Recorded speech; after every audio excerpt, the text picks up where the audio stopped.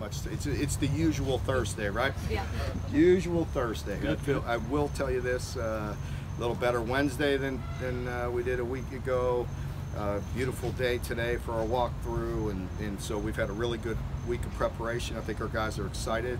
Um, I feel feel really good in our plan, but we have to uh, to execute on Saturday, and we got to get a lot of mental work done in the next couple days.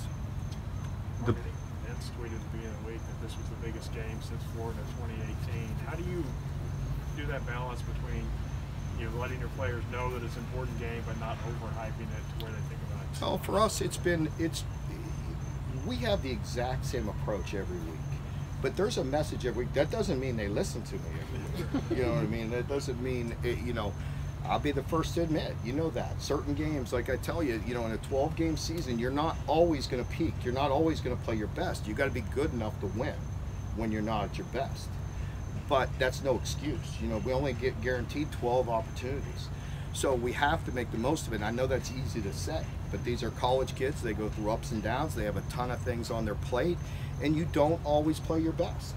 Um, but that's on me to get them ready and get them prepared. But our, our our tempo of things is always the same. No one game is more important than the others. The atmosphere, the, the, the, the, noise behind it, it's impossible to act like you can ignore that sometimes. But if you want to play in big games, you got to take care of the one that's in front of you. So if we, if we want a big game, then we have to play well this week, and, and so on. You know, and that that's that's just the truth. You don't play in big games unless you take care of people that's right in front of you. And so our message really doesn't change. I don't. You know, um, you know, I want to make sure our guys are, are ready to play each and every week.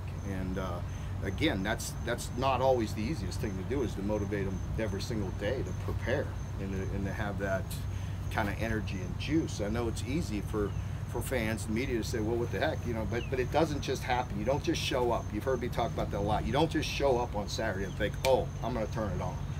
You know, you have to have that every day.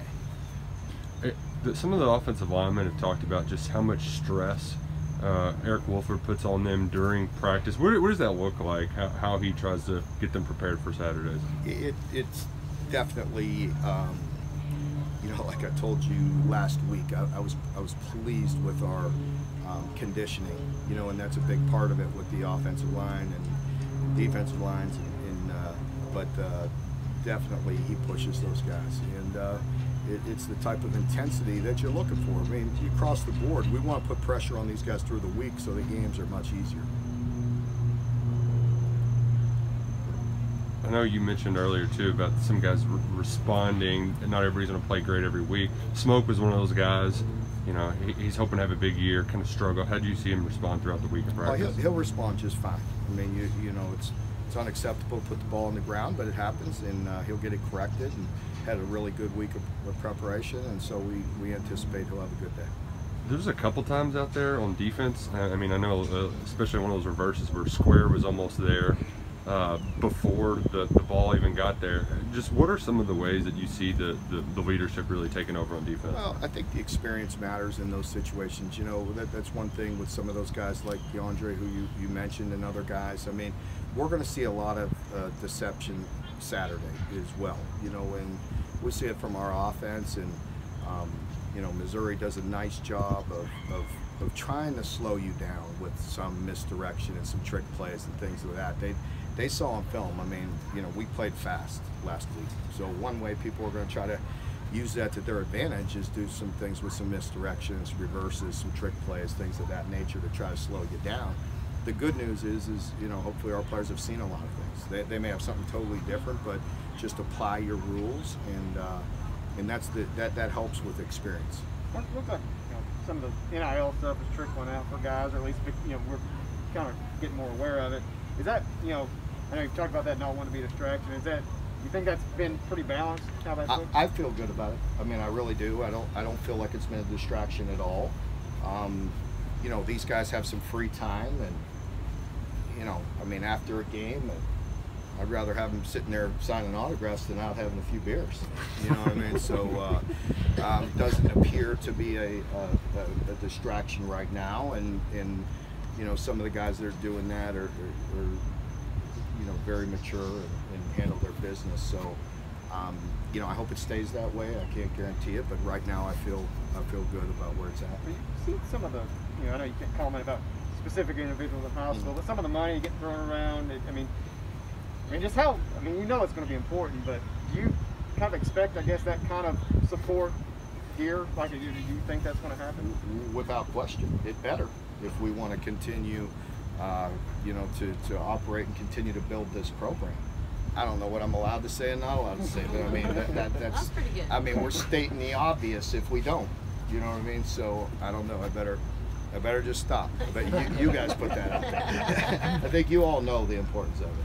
I, I think you can speak more candidly though how having three guys play tonight might help trickle down not only on your team now but future players. Well, I just think it helps. You know, we're just so proud of them. It's a Thursday night, so it's it's a early night for it, our players and uh, our coaching staff gets out of here at a, at a reasonable hour on Thursday, so we could all enjoy it and watch it, and we'll be proud to watch those guys and all of them. You know, so it'll be a it, it's fun. what, what, what does it just say about your program that all the guys who got drafted made the 53 Well, man? well, that, that that to me says a lot. You know, I'm, I'm very proud of that, and that's a that's a strong statistic that I don't think we talk enough about. You know, and and uh, to have six guys make it, and have five defensive players make it, you know, leave our, our defense and, and make a 53 man roster, and six total, six for six, along with AJ being a free agent and making the practice squad, which I assume will move up eventually um, just says a lot about them. It says a lot about our strength and conditioning team and, and our coaching staff. And you know, we talk a lot about developing players, but uh, to have them prepared and NFL ready is, a big deal for us, and it, and it makes us all very proud. Um, just look at the guys that are.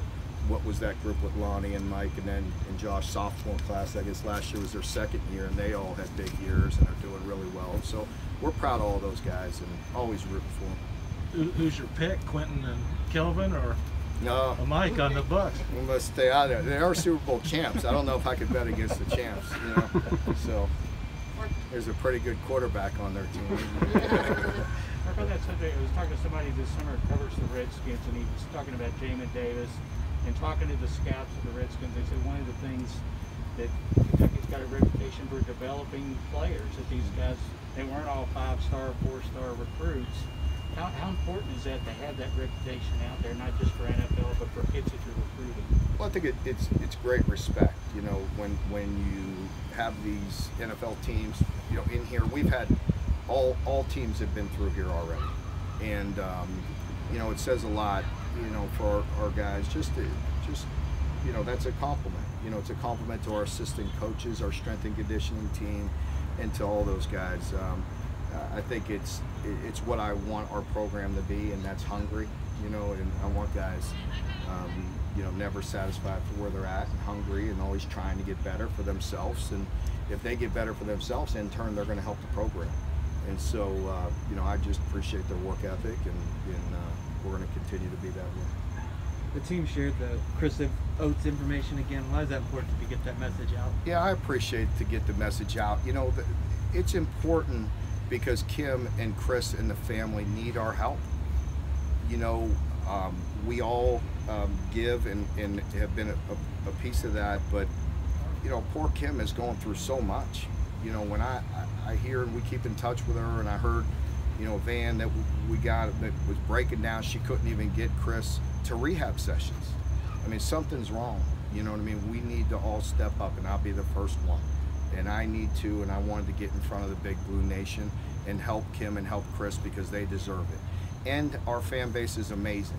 Our people are amazing. They just need to know that, that Chris needs the help and Kim needs the help.